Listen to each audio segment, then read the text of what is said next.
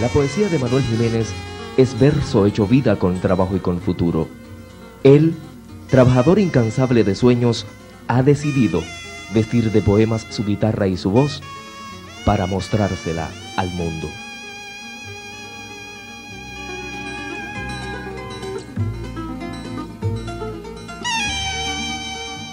La más reciente producción de Manuel Jiménez consiste en una selección de poemas de autores dominicanos, pero musicalizado por Manuel. Entonces, yo quisiera preguntarte, esto tú lo haces porque dentro de tu convicción está la idea de que poema y música pueden tener algún tipo de resultado para presentar una producción con vida comercial o sencillamente porque a ti te gusta, porque tú quisieras hacerlo, porque hay muchísimos artistas que hacen una producción musical sabiendo que es popular y que tiene vida comercial y también ese mismo artista puede hacer un trabajo que sabe que no es comercial. Por ejemplo, en el caso de la, de la selección de poemas. Sí, fíjate, yo pienso que la mercancía que no se vende es la que no se coloca en el mercado. Eh, las sociedades tienen todos los públicos.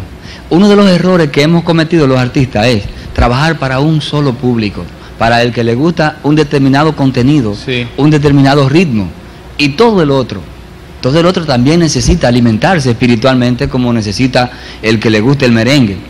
Hay uno que le gusta eh, más el teatro que la música, que consume o más pintura que teatro, en fin. Entonces yo pienso que la, estas canciones, estos poemas que yo he musicalizado, muy bonitos de poetas interesantes de, nuestro país y que merecían ser musicalizados porque generalmente nadie lo hace, eh, se han vendido tanto que ahora en estos momentos tú no encuentras en ninguna tienda, en ninguna parte, un solo cassette. Una, eh, un ejemplar. Lo que, deja dicho que para ti tiene posibilidad. Seguro, seguro. Es un público interesante, es un público grande, es un público que no la copia, que compra las originales. Eh, tal vez no es tan grande como el que consume merengue, como el que consume salsa, pero ese público consume y es un público muy bueno para los artistas porque nunca renuncia, es un público que no, que no se fija en las modas, en, lo que está sonando ahora, sino que prefiere la calidad en cualquiera de los momentos.